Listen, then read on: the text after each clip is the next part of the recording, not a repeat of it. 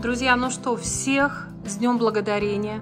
День Благодарения, кто отмечает США, мы все знаем, что он начинается в четвертый четверг ноября, то есть сегодня 28 ноября.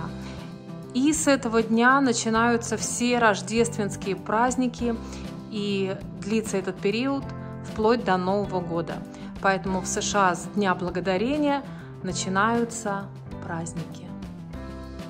Всех с праздником!